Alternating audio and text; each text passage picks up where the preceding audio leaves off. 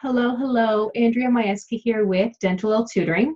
So the board exams are always fast approaching. So depending on where you live, um, I had students taking the board exam every single month, okay? Because I, I tutor Canadians, um, I tutor those in the States, I've tutored some people like from Florida, just everywhere, okay? So internationally. Um, but a lot of people say to me, you know, they will be sending me emails saying, I'm scared to take the board exam. Whether they took it once and they were unsuccessful and then they, they haven't taken it yet for a couple years, or I've had students who have taken it twice, it's their last attempt and they've waited six months. I've had students who failed the exam and then want to take it right away, you know. So it doesn't matter if you've waited a couple years, if you just haven't taken it yet for several years if you are just scared to take it, okay? We all think the same thing. You know, I was a student once too where I was terrified to take the board exam because everybody knows you're taking it. People ask you afterwards, so how did it go? If you're unsuccessful, you don't feel good about that, right? Um, and it's even worse when, let's say, you're a dental assistant taking the dental hygiene exam your whole office knows you're taking it, they keep asking you about it, and then you're unsuccessful, you may feel like you're just not a good dental professional. But that's not true. The exam is tricky. That's why we have so many um, opportunities to pass it. It's not an easy exam. I say all the time that it would be nice if a student failed once if then they let you take the exam in a verbal way you know if they simply ask you questions and and then you have a chance to explain to them what you know because i have no doubt that 99.9% of you guys know what you have to know to be a great dental professional but you do you have to pass that exam so my advice is do not be afraid to take it because you have to pass it.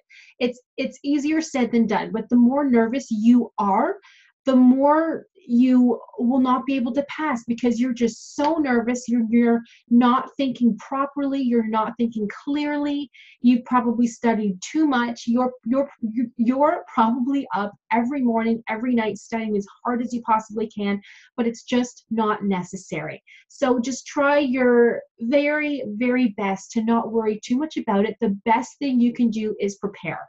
That's the best thing you can possibly do. So even if you're nervous, even if you're anxious, even even if your mind just draws a blank, the best way to be prepared is to know what you have to know. So study, you guys. Study at least two hours every day. I say upwards to six hours. Make sure to get enough sleep. It will not help you if you come home at one in the morning, study for two hours, you're in bed for three hours, and then have to wake up the next day to go to school. You know, that doesn't help you. So study appropriately, study properly put the cell phone, put everything away, know what you have to know. And the best thing to do for that is to take mock exam type questions for the board exam. So that way you take them to test your knowledge. If you do horribly, that's okay because then that means you need to keep on studying. If a certain topic confuses you more in those mock exams, then you need to study that topic. If you need help with this, sign up with me for the Dentalelle board exam prep courses because I offer mock exams. There are modules inside the membership login area. We tutor every single week.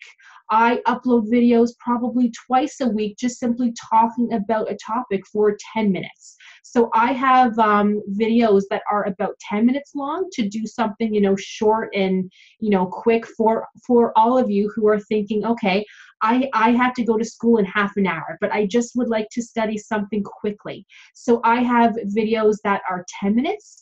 I have um, videos that are half an hour if you want to study something a little bit longer and our live tutoring sessions are one hour long every weekend. So you are always learning something. You can you know mix and match. Study oral pathology one time study nutrition another time. And the best thing that i say to do is start on one topic. Study that topic thoroughly it might take you two days, it might take you a week, but study it thoroughly and then take a mock exam on that topic to test your knowledge. That's the best thing to do, and that will make you feel the most confident. If you still need help, let me know though. I will leave the link for um, the Board Exam Prep Academy at the bottom because I will tell you guys what to what to study.